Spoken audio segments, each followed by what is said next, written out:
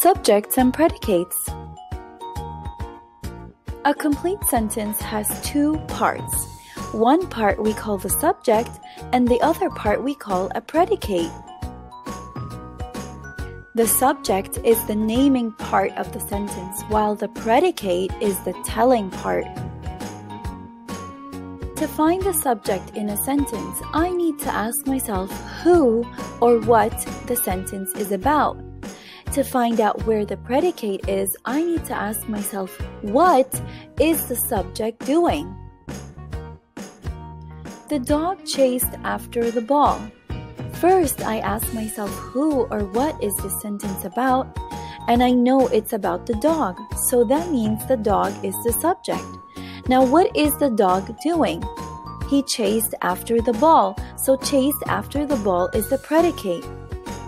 Here is a tip to help you find the subject and predicate faster. The subject could be a noun, proper noun, or a pronoun. The predicate always starts with a verb. Now let's together identify the subject and predicate in each of the following examples. Josh reads a book every day. Who is this sentence about? It's about Josh, so Josh is the subject. What is Josh doing?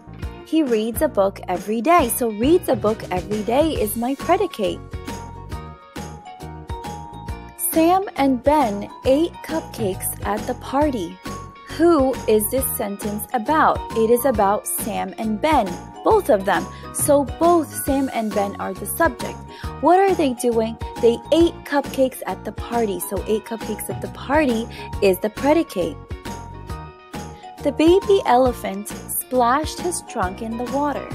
The subject is the baby elephant because this sentence is talking about the baby elephant. What is he doing? What is the baby elephant doing? He splashed his trunk in the water. So that is the predicate.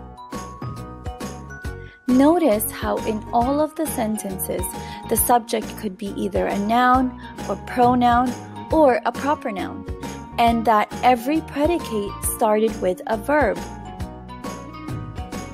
Now you know that a complete sentence has to have a subject and a predicate. Thanks for watching.